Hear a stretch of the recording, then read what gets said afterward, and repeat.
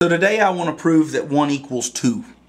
Uh, and this is an odd way to do this, but it's a fun way to do it. Um, what we're going to start with is something real simple. Um, we're going to start with negative 1 over 1 equals 1 over negative 1. Uh, just again, a, a different way to write negative 1 equals negative 1. Okay? And uh, we're going to take the square root of both sides. So if I take the square root of both sides, I get negative 1 over 1 equals 1 over negative 1. And then, of course, we're going to break those up. Um, and if you've seen some of my other fun little proofs, this looks very similar to another one. I promise it's not the same. Um, so we take the square root and we break those square roots up, okay? And um, very quickly, very simply, I can I can just substitute. And so what I'm going to do is I'm going to say, okay, you know what? This is the same as I over 1 equals 1 over I. Okay? So far, so good. So we've got that. And um, we're going to take this, what we've got right now, I over 1 equals 1 over I, and we're going to multiply by 1 half. We're going to multiply both sides by 1 half. And so this is going to give me I over 2 equals 1 over 2i.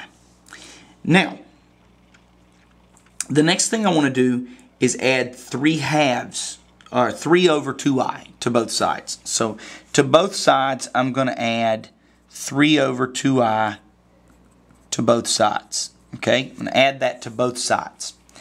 And as I do that, I'm going to end up with i over 2 plus 3 over 2i equals 1 over 2i plus 3 over 2i.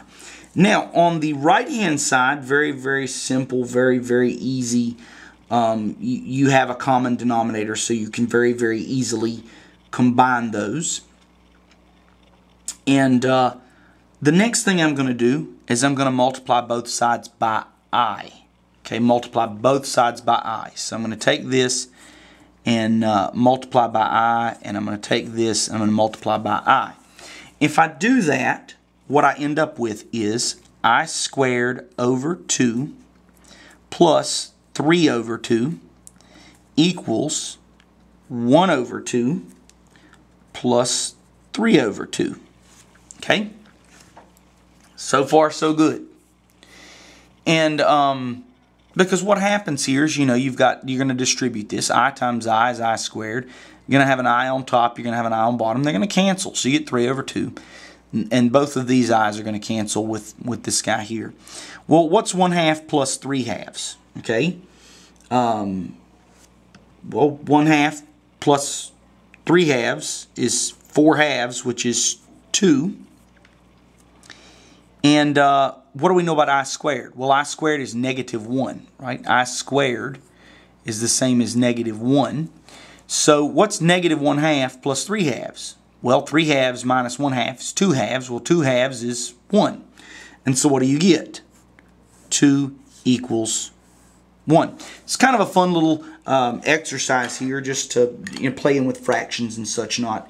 And, um, you know, really, you know, uh, kind of a fun thing to show folks and basically just showing you how you can manipulate things like the properties of complex numbers and uh, that sort of thing. So, um, but anyway, so this is um, th this is a fun little thing to do, fun little exercise, just showing that one equals two. Uh, one does not equal two. Please do not uh, don't think that it does. But it, it's it is something fun to see and something fun that to um, to try and find the mistake.